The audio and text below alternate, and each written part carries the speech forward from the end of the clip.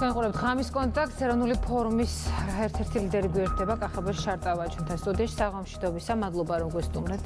კიდევ ერთხელ. დინეს არჩევნო გარემოზე საუბარს რა თქმა უნდა ბუნებრივად ახლავს ეს მშვიდობის მემორანდუმი რომელიც მართლმა პარტიამ შესთავაზა დანარჩენ პოლიტიკურ სპექტრს ასე ვთქვათ. როგორი პოზიცია აქვს ეროვნულ ფორუმს ამ დოკუმენტთან მიმართებაში და ინიციატივას როგორ განიხილავს? კიდევ ერთხელ დიდი მადლობა მივესალმები მაყურებელს მშვიდობის მემორანდუმი ქმედებაში ვიყავით მგონია ჩვენ ყოველთვის ეროვნული ფორუმი თვითონ. რაც შეეხება ამ თქვენს მიერ ნახსენებ დოკუმენტს მე მართალი გითხრათ მე შინაარს არ ვიცნობ. არც ამ мотиваციო ნაწილს ფიქრობ რომ მემორანდუმები საერთოდ დგება თანამშრომლობით პოტენციურად ხელმომწერი სუბიექტები ერთად მონაწილეობენ მისი პუნქტების საკითხების შემუშავებაში. კონსულტაცია ქონია? არა, არანაირი კონსულტაცია, თუ არა და შეიძლება რომელიღაც სუბიექტს აუჩნდეს რაღაც ორიგინალური იდეა, რომელიც ჩათვალოს, რომ საინტერესოა მისაღები შეიძლება იყოს პარტნიორებისთვის, თუ მეტოქეებისთვის. მაგრამ ალბათ ვფიქრობ, პატივი უნდა დასდონ იმ სუბიექტებს ვის ხელმოწერაც მათ ჭირდებათ, გადაუგზავნონ, შეატყობინონ. გადაავაგზავნეთ დღის ბოლომდე არ მიგვიღია, არ მიგვიღია, ამიტომ ვერაფერს ვერ გეტყვით, თუ მოვა ტექსტი, იქნება სამოტივაციო ნაწილი, პარტია ბუნებრივია განიხილავს. თუმცა თავისთავად იმ თუ ლაპარაკია ელემენტარული ნორმების დაცვაზე, კონტრაქციებისგან თავის შეკავებას კონტრაქციები ახლა ეროვნულ ფორუმს მე არ მახსენდება ჩვენ ოდესმე ან ჩვენ ჩაგვედინოს ან ჩვენი აქციების დროს ყოველ შემთხვევაში ესე მოქმედებდით რომ რაღაცა მსგავსი მომხდარ იყოს თავისთავად რამე პრევენციად არ გამოდგება ხოლმე ასეთი მემორანდუმები იმიტომ რომ ყოფილა მსგავსი შემთხვევები წინა ხელისუფლების დროსაც და თვითონ ინიციატორები არ ღვევდნენ ხოლმე ხშირად პირობებს და სხვათა შორის თუ ვინმე აპირებს და ფიქრობს მსგავსი ამების ჩადენას კონტრაქციის თუ რამე უარესის მოწყობას ხელის არ მოწერა არ იქნება მისთვის მეთოდი პირიქით შეიძლება ვთქვა თვალის ახვევის მიზნით. მოაწეროს კიდევაც მაგრამ ეს არ დააბრკოლებს და ვერ დააბრკოლებს იმ სუბიექტს რომელიც აპირებს რაღაცა ისეთ ექსცესების ჩადენას რომელიც გათვლილი აქვს რაღაც შედეგებზე. რომლის შემდეგაც მისთვის სულ ერთი იქნება მემორანდუმზე ხელი აქვს მოწერილი თუ არა. ამიტომ ახლა ამ შემთხვევაში რა იგულისხმება? მე არ ვიცი ყოველ შემთხვევაში ფორმა ჯერჯერობით არ არის დაცული ჩვენ მემორანდუმის ტექსტი ასაც თქვენ ბრძანებთ არ მიგვიღია, რა არ დაკავშირებია და შესაბამისად განხილვის თემაც ამ წუთისთვის ეგ საკითხი ვერ იქნება. რესპუბლიკური პარტიის წარმომადგენელი ამბობდა, რომ მიუხედავად იმისა, რომ ამ მემორანდუმი ეს მემორანდუმი არ ეხება ამ პარტიას, ვინაიდან არ განიხილავს თავს დამრღვევად, ასე ვთქვათ, მშვიდობის, მაინც აფიქსირებს მსატყოფნას, რომ კი აიღოს გარკვეულწილად ნაწილობრივ ის პასუხისმგებლობა, რომელიც შეიძლება ეკისრებოდეს როგორც ოპოზიციურ ძალას.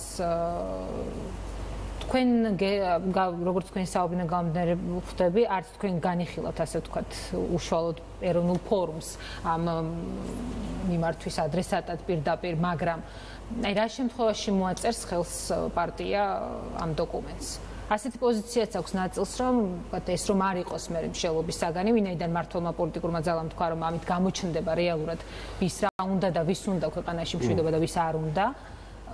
აი ამის გამოც ზოგიერთს აქვს განცდა, რომ ვალდებულია მოგახსენეთ მე ჩემი აზრი, ამით არ გამოჩნდება და პირიქითაც შეიძლება იყოს ვის ვინც რამეს აპირებს თქვა თან დაგეგმილი აქვს პირიქით შეიძლება აღმოჩნდეს ხელმომწერი და ეს მას ხელს არ უშლის მსგავსი რაღაცების ჩადენაში. აქ ახლა კატეგორიულ დირექტიული ფორმით ჩარევა პოლიტიკურ პროცესებში და მიმართვები და რაღაც შეთავაზებები და მე ვინ მოაწერს, ვინ შეუერთდება, ის კარგი იქნება, ცუდი იქნება. გვინახავს, ამიტომ ძალიან დიდი მნიშვნელობა აქვს, როცა ესეთ ელემენტარულ რაღაცეებზე ლაპარაკი, რაც თავისთავად ცხადი უნდა იყოს და ბუნებრივადაც იცვება და თავიდან სწავლა არ ჭირდება, ან რაღაცა ხელშეკრულებების და პირობების დადება არ ჭირდება. მაშინ აქვს მნიშვნელობა, მნიშვნელობა ფორმასაც. აი ფორმა უნდა იყოს თვითონ შემომტანი იმ რაღაცა ელემენტის, რომელიც ყველას მოქალაქესაც, ამომრჩეველსაც, პოლიტიკურ სუბიექტსაც თან აიძულებს, თან განაწყობს, რომ რაღაცა ვითარება იქნება ისეთი, რომ ახალი სიმშვიდის ახალი სიმშვიდის გარემოს ეს ინიციატორმა უნდა განსაზღვროს გონია სწორად და ფორმა ინიციატორის განსასაზღვრია. ახლა ჩვენ შემთხვევაში მე როგორც მოგახსენეთ, იგივეს გავიმეორებ. ჯერჯერობით ამ მემორანდუმთან დაკავშირებით ინიციატორების მხრიდან არაფერი წინადადება, შემოთავაზება, ან თვითონ ტექსტი ჩვენ არ მიგვიღია. შესაბამისად, განხილვის თემა ვერ იქნება. წინასაარჩევნო გარემოს როგორ აფასებთ თქვენ როგორც ფორუმის ერთ-ერთი ლიდერი? გაცილებით უკეთესი და მსუბუქია. ვიდრე ჩვენ გამოგვივლია, არ ვიცი, ბევრს თუ დაავიწყდა, ყოველ შემთხვევაში ჩვენ გვახსოვს ყველაფერი ის, რაც ხდებოდა. წინა არჩევნების, იმით წინა არჩევნების დროს და პოლიტიკური პროცესი როგორი იყო და ზოგადად ვითარება როგორი იყო პოლიტიკური გამაცხათა შორის განაპირობა ის რომ მეორე ის ადამიანი რომელიც არ ფიქრობდით პოლიტიკაში ჩართვაზე თანდათან იძულებული გავხდით გარემოებამ გაიძულეს რომ პოლიტიკაში ჩართულიყავით პარტიული ცხოვრებით დაგვეწყო ცხოვრება. ამასთან შედარებით გაცილებით სუბუქია მაგრამ სისტემა მუშაობს ისევ ძველი მეთოდებით. ერთი არის ერთი განმასხვავებელი ელემენტი ნაკლებად ხისტი არის სისტემის მუშაობა, ვინაიდან ალბათ არ არის დირექტიული, დირექტიული ხაზი აწყობილი და არ მოდის რაღაცეთ სპეციალური განკარგულებები და შესაბამისად ამის განკარგულებების შესრულების დაზღვევის ელემენტები, ამიტომ უფრო რაღაც თვით შემოქმედებას, ინერციას ჩვევას გავს სხვადასხვა სტრუქტურების მხრიდან, სახელმწიფოს ცენტრალური იქნება თუ ადგილობრივი ჩარევა წინასაარჩევნო პროცესში და ახლა ჩამოთვლას აღარ მოყვევი ალბათ ხოლო ოპოზიციური პარტია ამას ასახელებს თუ როგორ და რა ფორმებით ხდება ეს ჩარევა.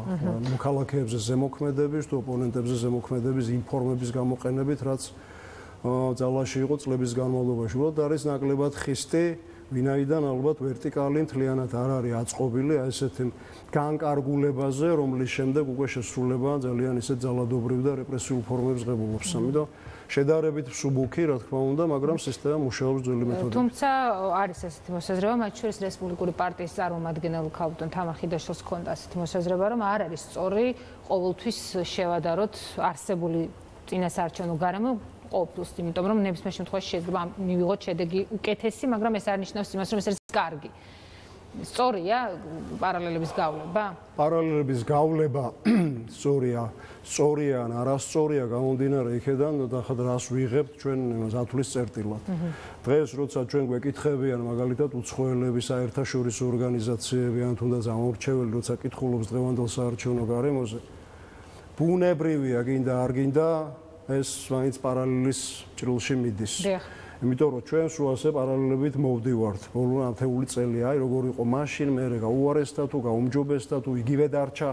ამიტომ ბუნებრივია პარალელს ვერ აცდები და შესაბამისად თუ გინდა შენს ქვეყანაზე რაღაც კარგი თქვა შენი ქვეყნის რაღაცა სიკეთე აღნიშნო უცხოელს ეტყვი თუ შენიან სეტყვი. რაღაცა დადებითის ხაზგასმა გიწევს და დადებითი ამ შემთხვევაში პარალელთან ერთად მოდის მაგრამ თუ ვილაპარაკებთ იმაზე როგორი უნდა იყოს საერთო საარჩევნო გარემო? არის თუ არა ისეთი საარჩევნო გარემო, როგორც არის ისეთი, როგორც არის თუ არა სისტემა ისეთი, როგორც უნდა იყოს? ამერიკის საჩამოვდა, რომ ვისურვებდი ასეთი გარემო იყოს ამერიკაშიც, ეს ამერიკაში საარჩევნო სიტუაციებში არ მიმიღია მონაწილეობა, ამიტომ ვერაფერს ვერ გეტყვით. მაგრამ აი ეს პრობლემები, რასაც ვაწყდებით ჩვენ ყოველდღიურად, ახლა წინა საარჩევნო კამპანიისას, რასაც აწყდებიან ჩვენი მაჟორიტარები, კანდიდატები. რა კონკრეტულ შემთხვევებს აწყდებიან შეგიძლიათ? რომ არ იყოს, ეს იქნებოდა ალბათ კარგი გამო, პლუს სისტემაც რო იყოს უფრო გამართული, რასაც ახლა ჩვენ ყოველთვის წლების განმავლობაში ვითხოვდით, რომ აი სისტემა იქნებ შეიცვალოს, გადავიდეთ ბოლოს და ბოლოს პროპორციულზე, რეგიონულ პროპორციულზე, ეს მაჟორიტარული ვარიანტი, რომელიც შედეგებზე ისეთ გავლენას ახდენს, რომელიც რეალურობას და სამართლიანობას მერცდება და ასე შემდეგ, იქნებოდა უკეთესი და ასე შემდეგ. ამიტომ ეს არ არის ის გარემო, რომლითაც ჩვენ დაამთავრებდი ამ საკითხის შეფასებას და ვიტყოდი ერთხელ და სამუდამოდ მოვრჩით, საარჩევნო გარემო არის, ადავიდეთ სხვა პრობლემების მოგვარებას. რა პრობლემებსაც აწყდებიან ახლა ადგილებიდან ასეთი სიგნალები შეფასებები ყოველთვის მოდის, რომ ის სისტემა ადგილობრივი ცენტრალური თუ ადგილობრივი ხელისუფლების წარმომადგენლების ჩარევა საარჩევნო პროცესში ზემოქმედების თელობა მოქალაქეებზე. დაშინება და მუქარა ვინც მუშაობს სამსახურებიდან გაშვება იმ შემთხვევაში თუ შენ ოპოზიციურ პარტიასთან ერთად არჩევნებში ღებ მონაწილეობს ხარდაჭერი ხარ ოჯახებში სიარული მათიმართა ოჯახებში სიარული სამსახურებიდან გაშვების ფაქტები მათ შორის ახლა ჩვენ წყალტუბოს მაჟორიტარ კანდიდატთან ჩვენ დამთავრებულიც კი არ მქონდა ჯერ შეთანხმება იმის თაობაზე რომ ის იქნებოდა კანდიდატი, იმიტომ რომ ადგილობრივმა ჩვენო მხარდამჭერებმა წარმოადგენს ეს ბადრი უნიანი წყალტუბოში ჩვენი კანდიდატი დღეს მაჟორიტარი მუნიციპალიტეტში ერთი სამსახურის ხელმძღვანელად მუშაობდა. იმავე დღეს იმავე წამს გამგებელმა გაათავისუფლა სამსახურიდან ისე რომ ბუნებრივია არც მიზეზები არც საბაბები არ აუხსნია აიღო და გაათავისუფლა. რა თქმა უნდა ეს გასაჩივრდა სასამართლოშიც და უწყებათა შორის კომისიაში წავა მაგრამ ასეთი ფაქტები ზოგი გამოვლენილი და ზოგი აი ესეთი ახლა არის ოჯახებში სხვადასხვა სამსახურების წარმომადგენლების სიარულები და ოჯახის წევრების დამუშავების თელოები ასეთ ფაქტებს ბევრი ადამიანი ამ არჩევნებშიც მოგიყვებათ. აი ისეთი ხისტი, ამიტომ ისეთი ხისტი ძალადობრივი ხასიათი რომ არ აქვს და აქ შემოდის პარალელის თემა. ამიტომ ამბობ რომ შედარებით, შედარებით რა თქმა უნდა უფრო მსუბუქია და ამას მიაღწია, ვთქვათ, აი იმ ცდელობამ, იმ ძალისხმევამ, რამაც ვთქვათ ის რეჟიმი შეგვაცვლევინა და მე იქნებ რავალპარტიულ და შედარებით ნორმალურ წინასაარჩევნო სიტუაციაზე გადასვლა გვეცა და ამ პროცესმა ამას მაინც მიაღწია რომ შედარებით მსუბუქია ეს ვითარება, მაგრამ მეთოდები, მეთოდები ადგილებზე, და მეთოდები არის დარჩენილი იგივე, რომ სისტემა მუშაობს იგივე წესებით. ესე იგი, შესაბამისად ამ არჩევნების დანიშნულება არის უკვე არა რომელიღაც მხოლოდ პოლიტიკური ძალის შეცვლა, ხელმძღვანელობის შეცვლა, არამედ სისტემის რეკონსტრუქციამდე მისვლა, არა მხოლოდ ხელისუფლების ვინაობის შეცვლა, არამედ მისი რაობისა და რაგვარობის. და კარგი იქნება თუ ამ არჩევნების შედეგად ისეთი პარტიები და ადამიანები აღმოჩნდებიან აი ბერკეტებთან, სადაც ცვლილებები შეიძლება განხორციელდეს, რომლებიც არ და ვერ გახდნენ სისტემის ნაწილები მიუხედავად იმისა, რომ ამის შესაძლებლობა ქონდათ და კარგი იქნება თუ ამ არჩევნებსაც ადამიანები ასეთი განწყობით მოეკიდებიან, რომ სისტემის უკვე რეალურად სისტემის ცვლილების არჩევნებია ეს და ეს ახალხო რეფერენდუმის სახე თუ მიეცემა რაღაცაზე არასთქმის, საბოლოო არასთქმის და გზის მიცემის რაღაცა ისეთისთვის, რაც სახელმწიფო მართვის სისტემას იმის მაგიურად რომ საკუთარ თავზე მუშაობდეს სახელმწიფოს ხარჯზე უკვე ქვეყანაზე და სახელმწიფოზე დააწყებინებს მუშაობას. ანუ ეს არის არჩევნები, სადაც თქვენ შეცვლით დამოკიდებულებას, ასე ვთქვათ, თანამდებობებთან მიმართებაში, აი სისტემის ნაწილი არ გახდნენო. თავის დროზე თქვენ არა მარტო თანამდებობებთან, არა მარტო თანამდებობებთან. აი ამ შემთხვევაში როგორი პოზიცია გექნება? თქო, ცის პირველი ნომერი ხართ ხომ? აიღებთ ბერკეტებს და დაიკავებთ ეს პოზიციას. ხო, თავისთავად ბერკეტის აღება, თავისთავად ბერკეტების აღება და სიტუაციას არ ცვლის. აი ეს ბერკეტი რა ფორმით და როგორ უნდა მუშაობდეს, ანუ რა სუშვების სტრუქტურას, რა სუშვების სისტემას. და ამ სისტემური ცვლილების დანერგვაზე შეთანხმება მომავალ პარლამენტში. იქნება მნიშვნელოვანი და ეს იმდენად რთული და კოლოსალური სამუშაოა, რომ ამას დაჭირდება თითქმის ყველა სუბიექტი, მათ შორის მოუხმობლები, ბევრი ის ადამიანი, ვინც აქამდე არ ჩართულა სახელმწიფო მშენებლობის პროცესში, და ეს ისეთ სამუშაოდ უნდა იქცეს, რომელიც რაღაცა ეროვნული თანხმობის წინაპირობასაც შექმნის, რომ ამ სისტემის გადაკეთების პროცესში მაქსიმალური განწყობით მიიღოს მონაწილეობა სამოქალაქო საზოგადოებამ, ამაღლდეს პარლამენტის როლი, ეს სამთავრობო ვერტიკალი იმ სტრუქტურითა და იმ ფუნქციური აბსურდით, რომელიც გადმოყვა საბჭოთა კავშირის შემდეგ, დაშლის შემდეგ და ეროვნული ხელისუფლების დამხობიდან დაწყებული კვლავ გაიმყარა საკუთარი თავი და ბიუჯეტსაც და საქვეყნო რესურსსაც საკუთარ გაუმართლებელ და გაუთრელ დამოკიდებულებზე ამუშავებს, ეს უნდა გადაიქცეს სახელმწიფოზე მომუშავე ისეთ მანქანად, რომელიც პროფესიულ პროგრამულ ბიუჯეტებზე აწყობილ ჯგუფების ჰორიზონტალზეა გაშლილი, სადაც გადაწყვეტილების მიღებისა და პასუხისმგებლობის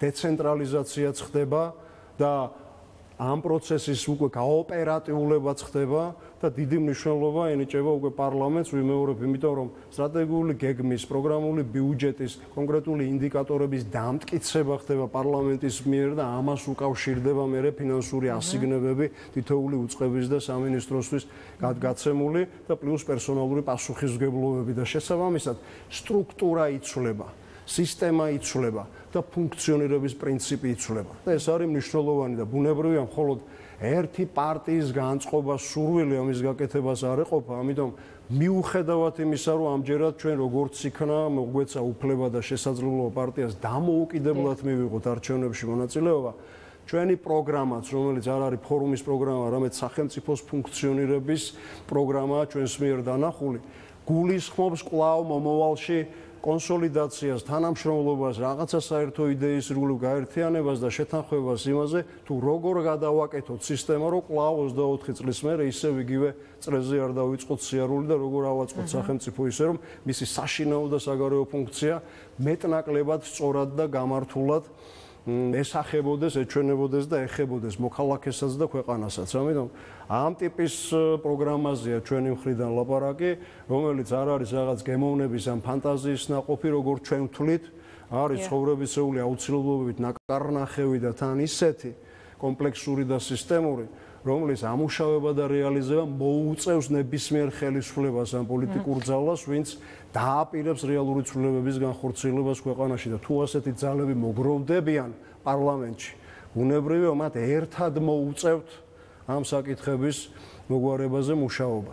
და ეს არის ერთ-ერთი ძირითადი ნაწილი, ბოდიში ვიხდი რომ თუ გაწყვეტინებთ ამ პროგრამის არამხოლოდ ის, რომ სისტემურად და კომპლექსურად აქვს დანახული სახელმწიფოს მრავალგანზომილებიანი სწორი მუშაობა, არამედ ისიც რომ აა კონსოლიდირებული ჩართულობა არის ნაგულისხმევი ყველა იმ პოლიტიკური სუბიექტის თუ ადამიანის თუ პროფესიონალის, რომელთა შესაძლებლობის გამოყენება შესაძლებელია სხვადასხვა მიმართულებით და მათი სპეციფიკის გათვალისწინებით. ჩვენ საუბრის ბოლოს თქვენი პარტიის წარმომადგენელი საუბრობდა ამ ინიციატივის შესახებ, მას ეკუთვნის ეს გუბესანიკიძეს გულისხმობ, მან თქვა რომ ვინაიდან ისმის კრიტიკა ყოფილი პარტნიორები ის მისამართით ბიძინა ივანიშვილის მხრიდან ხომ არ აჯობებდა ლიდერები შეკრებილიყვნენ და თქვა ცხია ფორმატში ემშელად თუ კი იყოს საკამათო საკითხები. ბიძინა ივანიშვილის პოზიცია ვიცით რომ მას არ სურს ამ ფორმატში მონაწილეობის მიღება თუ ის თანახმა იქნებოდა თქვენთვის არის თუ იყო თუ არა ეს მისაღები და რას ეთყოდით რას კითხავდით მას საინტერესო. ხო, რას კითხავდით და რომ მე შესაკითხი გასარკვევი ან გასარჩევი მაბადიეთ ამ გამოთქვისთვის არც ერთ ჩემს ყოფილ პარტნიორთან არაფერი არ ამაქვს. რომ ქონოდა აქამდე გავაკეთებდი და მათთან ერთად გავაკეთებდი თუ არის რჩება რაღაც საკითხები პარტნიორებს ყოფილ კოლეგებს თუ დღევანდელ კოლეგებს აქვთ რაღაც საკითხები რომელზეც უნდა ვისაუბროთ და მათ შორის საჯაროდ ბუნებრივია ყოველთვის მზათავარ ასეთ ტიპის განხილვაში მონაწილეობა. არაფერი არ გაქვთ შეკითხვა და განსახილვა. მე პირადად მით უმეტეს ახლა გავლილი პერიოდის და ეტაპის შესახებ ბუნებრივია არ მაქვს და არც ვიმაჩნია სწორი, ჩემთვის არ არის ყოველ შემთხვევაში სწორი და რაღაც ისეთი ადამიანურად მისაღები, როცა ყოფილი თუ დღევანდელი პარტნიორები, მეგობრები, თანამებრძოლები, რომლებსაც ძალიან ბევრი რამე გადაუტანიათ ერთად, მე რე დროთა განმავლობაში რაღაცა პოლიტიკური კონjunქტურის შეცვლის შემდეგ ერთმანეთის მიმართ რაღაცა შორიდან ირგვლივ რაღაცა შეფასებების აკეთებას და ძველი ამბების გახსენებას და ამის შეფასებების კეთებას იწყებენ და არ ეხება მიმდინარე პროცესებს ბუნებრივია და არ ეხება ვთქვათ პოზიციებს ან ქმედებას ან პროგრამას მაგრამ პერსონალიებზე ან რაღაც პერსონალურ დამოკიდებულებზე როცა გადადის მით უმეტეს ჩემთვის არის ყოველთვის გულსატკენი და მიუღებელი ეს მაგრამ თუ რაღაც საკითხები რჩება ისეთი რომელიც არის განსახილველი საზოგადოება ჭირდება რომ იცოდეს. რაღაცა ქვეყნოს ან სახელმწიფო მნიშვნელობა აქვს ამას უნებრივია ყოველთვის ბზათვარ და მირჩევნია ასეთი ფორმა. ვიდრე ადამიანები ცალ-ცალკე დადიოდნენ და ერთმანეთზე შორიდან რაღაცას ლაპარაკობდნენ. მაშინ კი ბატონო დავსწრეთ და თუ რამე დარჩა სათქმელი ან მოსაყოლი ან ასახსნელი ავხსნათ მაგრამ მე თვითონ ასეთი საკითხები, რომელსაც ახლა რომლის გარჩევასაც ახლა დავიწყებდი, პირადად მე არ აქვს, მაგრამ თუ ვინმეს აქვს, კი ბატონო, მოგზანდებს ათავარ და ვილაპარაკოთ. თავის დროზე რატომ თქვა ფორუმმა თქვენს ნებისმიერ თანამდებობაზე პოზიციებზე უარი, მათ შორის როგორც ვიცით, დარახოლიძესაც ურჩევდით, რომ არ დაეკავებია, ასე ვთქვათ, ministris პოზიცია, რატომ? სისტემის ნაწილი არ უნდა ყოფილიყო? ხო, ეს ფორმის ერთ-ერთი წარმოადგენელი. თქვენ კარგი დასკვნა გააკეთეთ ამ ხრი, ბუნებრივია, ერთი არის ეს, ხო, სისტემა თუ არ იცვლება და ჯერჯერობით არ დგას დღის წესრიგში სისტემის შეცვლის საკითხი. ხა მასთან სისტემასთან ერთად და სისტემაში მუშაობა მაინც და მაინც დიდი შედეგის მომტანი არ არის. თუმცა ასეთი ამოცანა არის ყოფილა დღის წესრიგში, ხა ფორუმის მიწვევის კოალიციის დამფუძნებლად მიწვევის ალბათ ჩემი აზრით ხო ერთ-ერთი ძირითადი დანიშნულება ის იყო რომ ამ კოალიციას ის რეჟიმის პოლიტიკური აპარტეიდი უნდა დაემარცხებინა. ერთი არჩევნების მეორე არჩევნების და მესამე არჩევნების მეშვეობით და ძალიან მნიშვნელოვანი იქნებოდა. შემდეგ პოლიტიკური სტაბილურობის შენარჩუნება, როგორც კოალიციის შიგნით, ისევე ზოგადად პოლიტიკურ სივრცეში საქართველოში და პოლიტიკური სტაბილიზატორის მოგზალებული ფუნქციის შესრულება დაიტოვა თავისთვის ფორუმმა და ბუნებრივი არც ქონდა მას რაღაცე გათვლილი არჩევნების მე რაც ქვეყნის მართლობაში მიიღებდა მონაწილეობას. ეს სამომავლო ეტაპია და ეს ეტაპი თანდათან ახლოვდება და დგება. მადლობა. მადლობა. კახაბერ ჩარტავა იყო ხამის კონტაქტის სტუმარი. რეკლამის შემდეგ უკვე მართველი პარტიის აღმასრულებელი მდივანი უნდა შემოგვიერთდეს ქართული ოცნების ოფისიდან